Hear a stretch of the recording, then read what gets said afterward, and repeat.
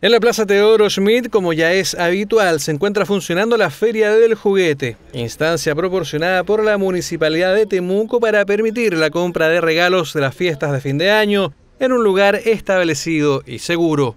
Nosotros hacemos un llamado a la ciudadanía a comprar, ¿no es cierto?, como en esta feria del juguete establecida y que además apoyamos a emprendedores y, evitar comprar en el comercio ambulante porque eso nos genera bastantes complejidades y nosotros hacemos un tremendo esfuerzo diario para ir, ¿no cierto?, fiscalizando en distintos lugares de la ciudad.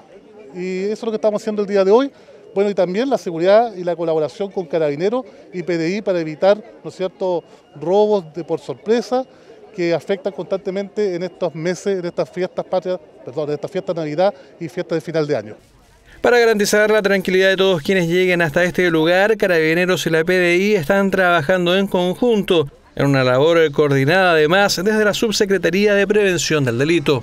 La coordinación está hecha, vamos hoy día a, trabajar en los detalles más finos, pero contamos con absolutamente todos los elementos necesarios para dar la debida protección y seguridad a las personas. Que puede venir y que puede hacerle de forma tranquila, producto que nosotros los carabineros, en conjunto con los otros órganos institucionales, tanto de la municipalidad, del Servicio de Salud, que nos acompañan de la PDI, estamos para protegerlos y cuidarlos en todo el territorio que afecta o se sitúa en la ciudad de Temuco. En torno también a la seguridad, el alcalde Neira anunció el incremento de las fiscalizaciones al comercio ambulante, agregándose el sábado a estas, contratando además cinco nuevos inspectores. Nosotros como municipalidad hemos tomado medidas concretas, estamos haciendo un trabajo de reordenamiento del centro, para eh, ¿no cierto? ir a fiscalizar fuertemente el comercio ambulante. Para eso vamos a contratar a cinco inspectores más y vamos a aumentar al día sábado las fiscalizaciones que antiguamente no se realizaban. Este plan viene elaborado desde Seguridad Ciudadana para reordenar la situación.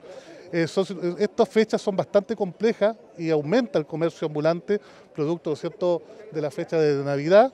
Durante la actividad se llamó a la ciudadanía a tomar distintos resguardos al momento de enfrentarse a grandes aglomeraciones de personas para evitar hurtos o cualquier tipo de inconveniente que pueda surgir.